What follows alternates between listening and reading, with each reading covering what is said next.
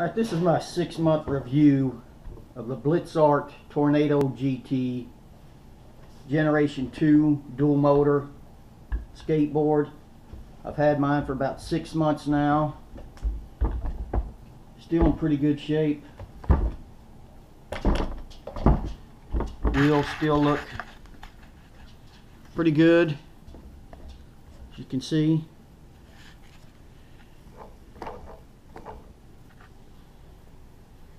I've probably uh, put about somewhere between 75 to 100 miles on it. Uh, probably about 50 battery charges. Uh, last, I probably ran it completely out of battery three or four times. Last time being about a week ago. Unlike some other skateboards that I've seen that go real slow, but they'll keep on going. This one will still go like 10 miles per hour and it, then it'll just shut down like that. I don't know if that's a good thing or a bad thing. Uh, from uh, completely being dead, it took me like 2 hours and 15 minutes to recharge it a week ago.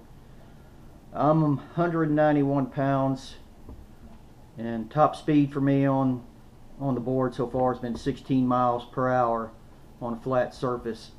I don't really, I'm in Texas, I don't really have a lot of hills around here the hills I have gone. It's got plenty of torque for me as you'll see later in the video on a speed test from 0 to 16 gets there pretty quick and I found the brakes to be really good. I like to ride it on the seawall in Galveston. I have people uh, walk out in front of me and uh, I'll have to slam on the brakes real quick and it, it stops me pretty good.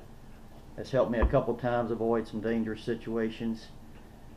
Uh, let me see what else. Uh, overall, uh, oh, I really like the board. One thing uh, about the remote, I did have to replace one remote. Uh, still worked, but it wouldn't charge anymore. Uh, so far, I've had no connection issues whatsoever. Uh, losing connection between the remote and the skateboard. I have, at the end of its battery life, if you're hitting some good bumps in the road, There'll be a little lag time before, uh, I mean, just barely any lag, but it is there when you hit a bump. And this is more towards the end of the, after you've been riding it a while. Uh, so far for the range of me, like I said, I'm 191 pounds. Uh, six and a half miles is uh, the most I can achieve, but that's going like 85 to 90 percent full throttle the whole time. I found uh, Blitzart customer service to be really good.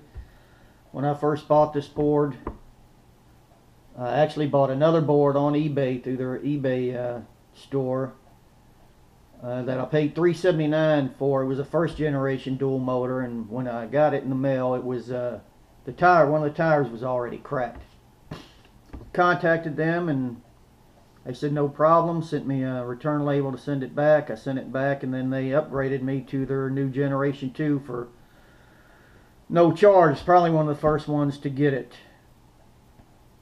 So like I say, I've had it for six months. The only problem I've had is uh, the one remote that came out. It was only like 15 or $16 to replace the remote.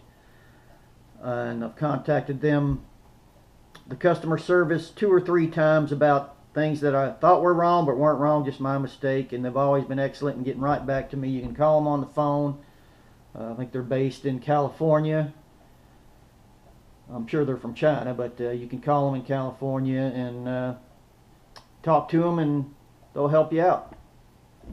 So that's my review. Uh, stay tuned for some more video of uh, the data.